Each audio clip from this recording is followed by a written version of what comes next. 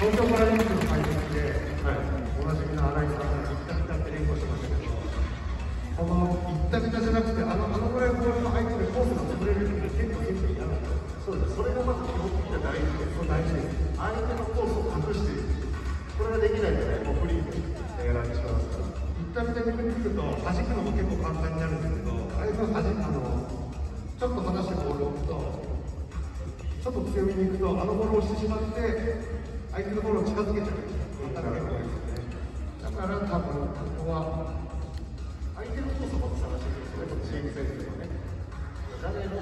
コースがジャックボールに対してこう空いているのかっていうのを探しながら、投球、順番をね、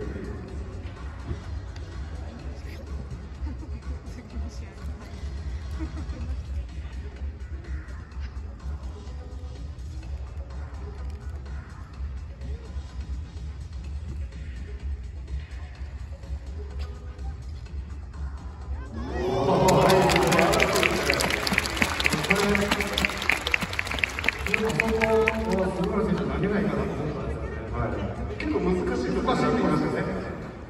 難しいコースを攻める選手といて広瀬選手にボールを残したんだろうなちょっとしかも当ててますよ。ね、はい、そうです、そうです。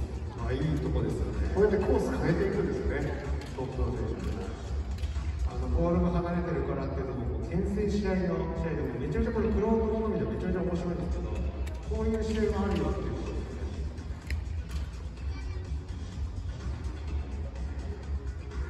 球使いますよ。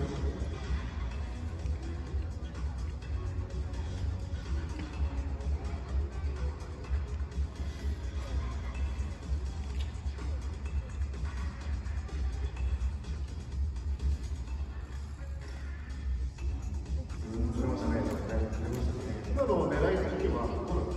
赤を押し込もうとしてます。赤を押し込むそうですね手前の赤を押し込むと